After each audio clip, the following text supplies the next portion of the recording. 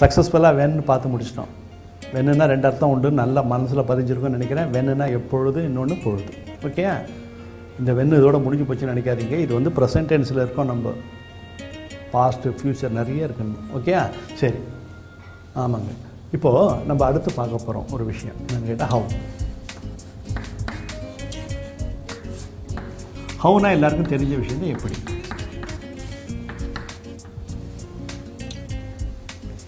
Sir ஒரு காலத்தில் இப்போல்லாம் யாருமே இந்த வார்த்தையை யூஸ் பண்ணுறதில்ல இந்த கேள்வியை கேட்குறதில்ல முன்ன பின்ன இதுவாகும்போது அறிமுகப்படுத்தும் போது என்ன பண்ணுவாங்கன்னா ஃபஸ்ட்டு அறிமுகமாகும்போது இப்படி ஒரு வார்த்தை சொல்லுவாங்க.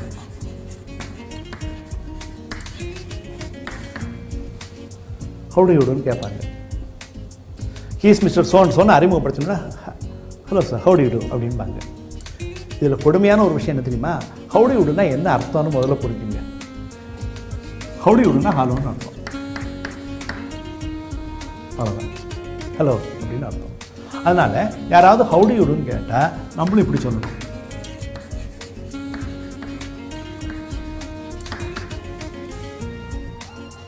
இது என்னமோ ஒரு மாதிரி இல்லை. ஹவுடி விடும் ஹவுடி விடும் அப்படின்னு சொல்லி. அதை விட பெஸ்ட்டு ஹலோ ஹலோ சார்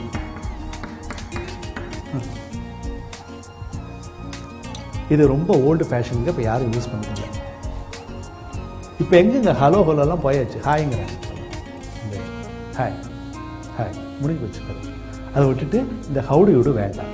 போட்டு குழப்பிக்காதீங்க. ஆனால் ஹவுடி யுடுக்கும் ஹவ்வார் என்ன வித்தியாசம் அப்படின்னு கேட்டால் ஹவுடி யுடுங்கிறது அறிமுகம் இல்லாத போது புதுசாக அறிமுகமாகும் போது ஹவுடி யுடு அறிமுகமான பிறகு ஹவ்வாயு யாரை பார்த்து நமக்கு சௌக்கியமான்னு கேட்போம்? நமக்கு தெரிஞ்சவங்க. ஓகே அதனால் ஹவுடி யுடுங்கிறது நிறைய பேருக்கு சார் ஹவுடி விடுனா ஹவுடி விடுனான்னு கேட்டுக்கிட்டே இருப்பாங்க. அவங்களுக்கு சொல்கிற ஒரே இது ஹவுடி விடுனா ஜஸ்ட் ஹாலோன்னு அர்த்தம் வேறு அவ்வளோ ஓகே சார் உங்கள்கிட்ட ரொம்ப நேரமாக கேட்கணும்னு நினச்சிருந்தேன்.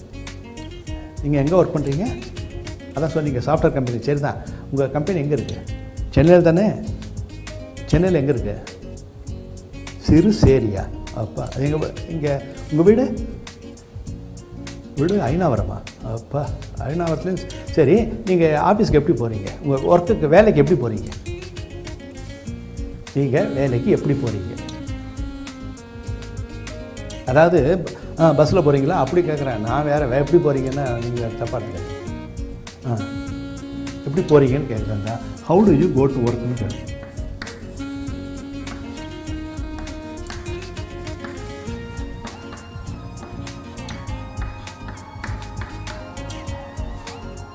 how do you go to work நீங்கள் வேலைக்கு எப்படி செல்கிறீர்கள்? இப்படி யாராவது உங்ககிட்ட கேட்டால் இப்படியெல்லாம் சொல்லணும்னு அவசியம் கிடையாது.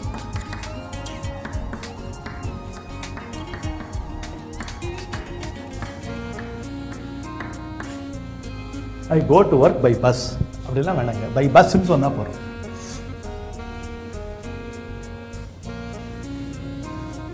புரியுங்களா? காரில் போகிறீங்களா கார் இப்படி அவங்களே அனுப்புவாங்களே? சரிதான் சரி பை கார். வெரி குட் அப்புறம்? சென்னையில் இருக்கிறவங்க இப்படி கூட சொல்லலாம். சரி. சரி அப்புறம்? I go to work by bus I go to work வேண்டாமே. ஹவு டு கோ டு ஒர்க்னு யாராவது உங்ககிட்ட கேட்டாங்கன்னா பை பஸ்ஸுன்னு சொல்லுங்கள் பை கார்னு சொல்லுங்கள் பை ட்ரெயின்னு சொல்லுங்கள் சரி. பைக்கில் போகிறீங்களா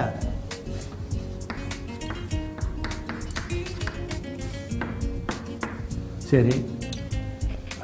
நீ எப்படிம்மா போகிற இப்படி இப்படின்னு எப்படி தெரியும்? சொல்லு. ஸ்கூட்டியா? வெரி குட்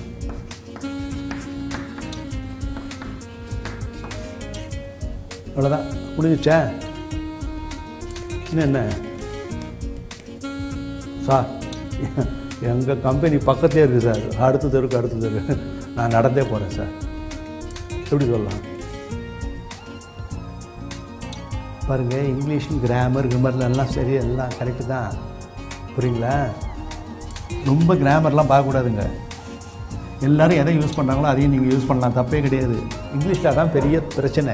சில பேர் என்ன பண்ணுவாங்கன்னா பை வாக்குன்னு சொல்லுவாங்க. நீங்கள் எதாவது சொல்ல நினச்சிங்க இல்லையா? சொல்லலாம் தப்பு இல்லை. ஆனால் இது தப்பு.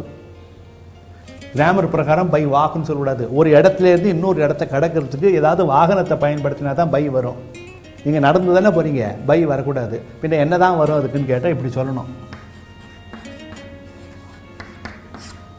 ஆன் ஃபுட் அப்படின்னு சொல்லணும். இப்படியெல்லாம் சொல்லி தொலைக்காதீங்க. கிண்டல் பண்ணுவாங்க எல்லாரும். அப்படிங்களா இவர் காலால் வராருண்டோய். நாங்கள்லாம் அப்படி உருண்டு போகிறோம் இவர் காலால் வராரும்பாங்க. தப்பாக எடுத்துப்பாங்க. அதனால் என்ன பண்ணுங்கள் பை வாக்குன்னு சொல்லிட்டு போங்க. தப்பே கிடையாது. ஆன் ஃபுட்டெல்லாம் வேண்டாம். ஓகே ஞாபகத்தில் இருக்குமா? ஹவு டு கோட் ஒர்க்னா நம்ம இது பண்ணிடலாமா? சரி. எல்லாத்தையும் எழுதிட்டிங்களா? இதெல்லாம் என்ன பை போட்டு பக்கத்தில் என்னென்ன எப்படி போகிறீங்களோ போட்டுருங்க. ஓகே மீண்டும் ஃப்ரெண்ட்ஸ் பெரும்பாலும் எல்லாத்தையுமே முடிச்சிட்டாங்க. என்ன பண்ணோன்னா ஹவ் வரலும் பார்த்துட்டோம். ஆச்சுங்களா? இப்போ நம்ம பார்க்க வேண்டியது ரொம்ப ரொம்ப ரொம்ப முக்கியம். ம், இது ஒரு ப்ரோக்ராமில் ரெண்டு ப்ரோக்ராமில் முடிகிற விஷயம் கிடையாது. அதனால் இதை கொஞ்சம் கவனமாக பார்க்கணும். ஓகே ரெடியா புக்கில் பேஜஸ் எல்லாம் இருக்க பார்த்துங்க இன்றைக்கி ஆரம்பிச்சிடுறேன். ஒன்றும் இல்லைங்க. பொதுவாக ஒரு செயலை ஒருத்தர் சில பேர் வழக்கமாக செய்யும்போது நம்ம இந்த கேள்வியை கேட்போம்.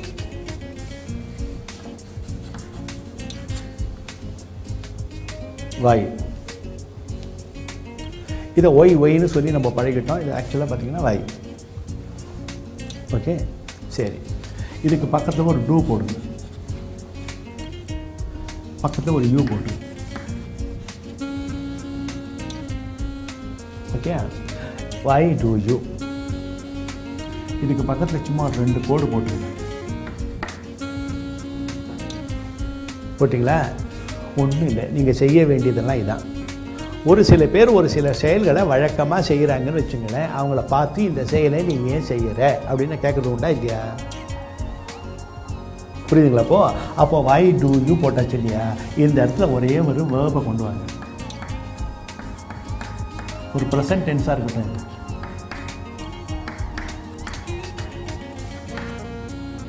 இதுக்கு பக்கத்தில் வேறு ஏதாவது விஷயம் இருந்தால் சேர்த்து இல்லைன்னா அதோட இந்த கொஷின் மார்க்கை இங்கேயே போட்டுரு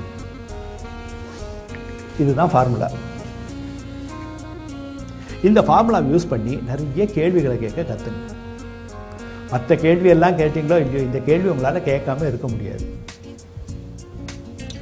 ஓகேயா சரி இப்போ பார்க்கலாம். முதல் கேள்வி. அனாவசியமாக எதுக்கு அவங்ககிட்ட ஆர்கியூ பண்ணுற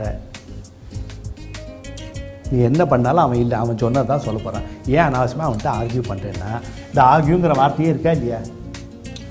பாருங்க ஒய் போடுங்க. டூ யூ போடுங்க. ஏஆர் போடுங்க ஜியூஇ e போடுங்க. வித்து போட்டு ஹிம் போடுங்க. Why do you argue with him அப்படின்னு சொன்னால் நீ ஏன் அவனோட ஆர்கியூ பண்ணுற ஏன் அவனுடன் விவாதிக்கிறாய்? ஈஸியாக இருக்கா why do you argue with him அவனுடன் ஏன் விவாதிக்கிறாய்?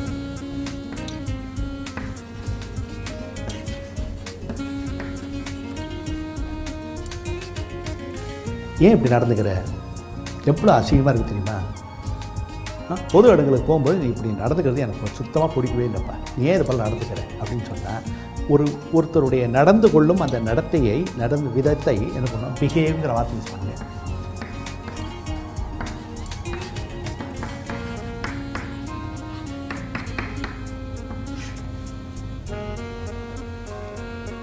ஒடி பிஹேவ் லைக் தட்னா நீ ஏன் அதை போல நடந்து கொள்கிறாய்? ஒய் டு யூ ஆர்கியூ வச்சிங்கன்னா நீ ஏன் அவனோட ஆர்கியூ பண்ணுற why do you behave like தட்னா like தட்னா அதை போல.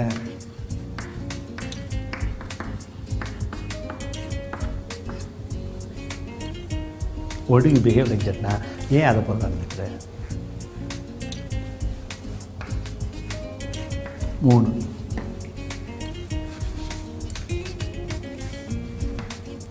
நீங்களே ஏற்கனவே ரொம்ப டென்ஷனில் இருக்கீங்க குழப்பத்தில் இருக்கீங்க. அவன் இன்னொரு ஃப்ரெண்டு வந்து ஏதோ இன்னும் சொல்லி குழப்பறான். டே ஏன்டா அனாவசியமாக என்ன குழப்பற?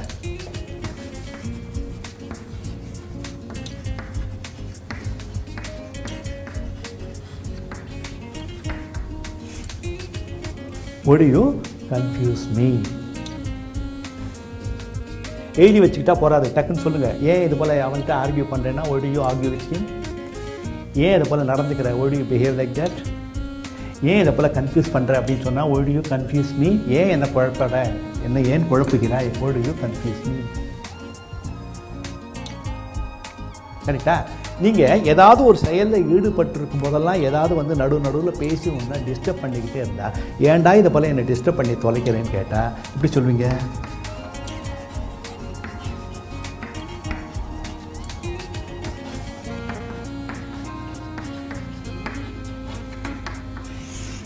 சொல்லுங்க. Why do you disturb me ஏன் என்னை டிஸ்டர்ப் பண்ணுற சொல்லுங்க. புரியுதுங்களா? Why do you disturb me இப்போ ஒரு செயலை நீ ஏன் செய்கிறாய் என்று வழக்கமாக செய்கிறாய் என்று கேட்கும்போது ஒய் டு யூ ஆர்கியூ வச்சுக்கிம்னா ஏன் இது போல் அவன்கிட்ட ஆர்கியூ பண்ணுற ஒய் டு யூ ஆர்கியூ வச்சுக்கிம் சொல்லி பாருங்கள் ஏன் இது போல் நடந்துக்கிற?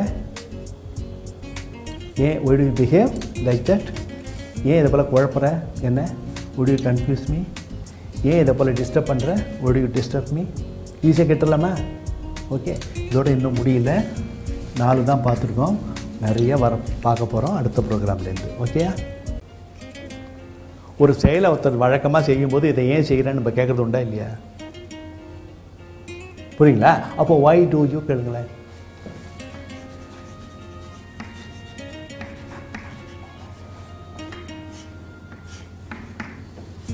All you need is a present tense ஒரே ஒரு ப்ரெசன்ட் டென்ஸ் வர்பு அது என்ன செயலை அவர் செய்கிறாரோ அந்த செயலுக்கு ஏற்ற வர்பு வரணும் இங்கே.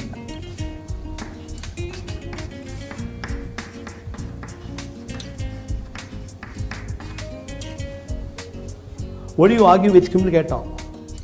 ஒடி யூ பிஹேவ் லைக் தட்னு கேட்டோம். நான் இருக்கா? ஒடி யூ கன்ஃபியூஸ் மீன் கேட்டோம். ஒடி யூ டிஸ்டர்ப் மீன் கேட்டோம். ஈஸியாக கேளுங்க அது போல். இல்லைங்களா? சரி அடுத்து பாருங்கள்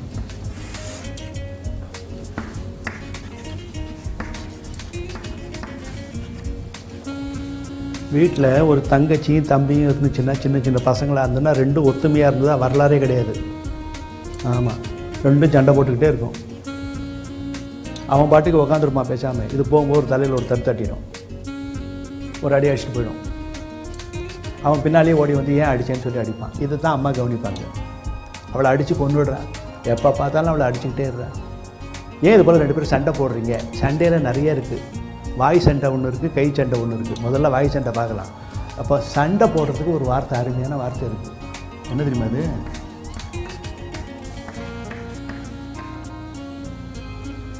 QUARREL இதை வந்து குவாரல்னு சொல்லணும்.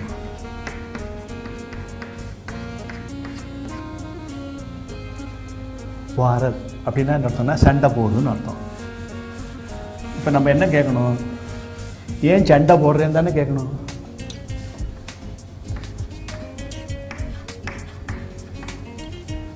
சண்டை போடுறதா இருந்தால் கூட யாராவது வேணுமா இல்லையா? வித்து போடுங்க. ஹர்னு போடுங்க. ஓடி யூ வித் ஹர் ஏன் அவனோட சண்டை போடுற? கியூயூஏ இந்த யூ அழிஞ்சிருச்சுக்கு பாருங்க QUA ஆர்ஆர்இஎல் குவாரல் அப்படின்னா வாய் சண்டை. கை சண்டையாக இருந்தால் ஃபைட்டு அதுக்கப்புறம் பார்த்துக்கலாம். ம்? ஒடியோ குவாரல் இருக்கு வச்சுக்கலாம் சரி. ஸ்கோல்டுன்னு ஒரு வேர்டு இருக்குது நோட் பண்ணி வச்சுங்க. ஸ்கோல்டுன்னா திட்டுறது. ஏன் அவனை திட்டுற அப்படின்னு சொன்னால்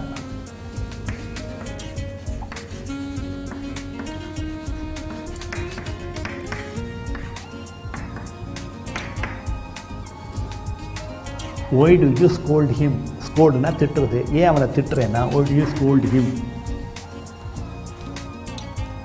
scold scold வச்சுங்களா இது அழிச்சிட்டோமா ஸ்கோல்டுன்னா என்ன அர்த்தம் திட்டுன்னு அர்த்தம் ஏன் திட்டுற அப்படின்னா ஒய் டு ஸ்கோல்ட் ஹிம்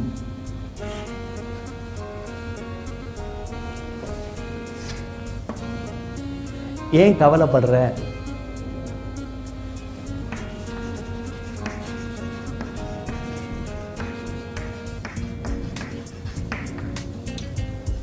ஏன் கவலைப்படுற? ஒழியு வரின்னு சொல்லு. ஒழியு வரி. ஏன் கவலைப்படுற? இது எதிர்காலத்தில் என்ன ஆகுமோன்னு ஃப்யூச்சர் பற்றி கவலைப்பட்டால் வரி. சாதாரணமாக சின்ன கவலையாக இருந்ததுன்னா ஒழிவு பாதம்னு கூட சொல்லலாம்.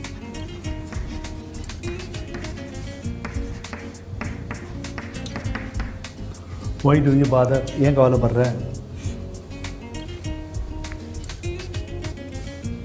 புரியுதுங்களா அப்போது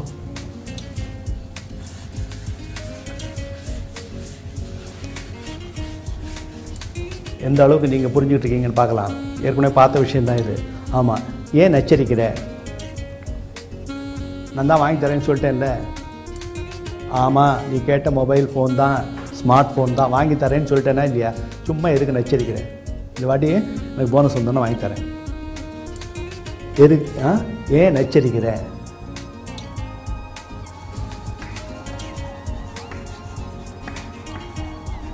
என்ஏஜி நாக்வி இல்லைன்னா ஒடு யூ பெஸ்டர் மீன்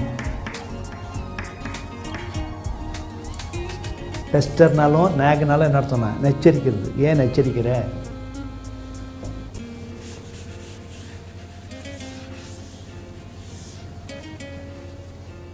ஏன் எரிச்சல் விட்டுற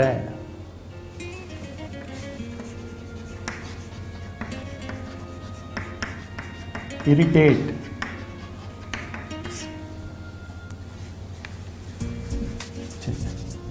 சரி எழுதுறேன் would you மீ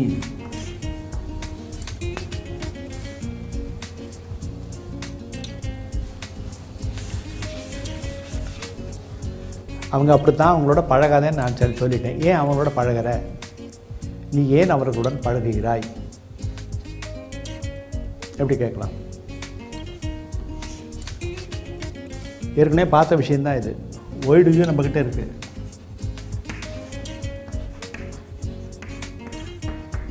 ஒரே ஒரு வர்பு பழகிறதுக்கு ஏதோ ஒரு வர்பு சொன்னேன். ஞாபகம் இருக்கா பாருங்க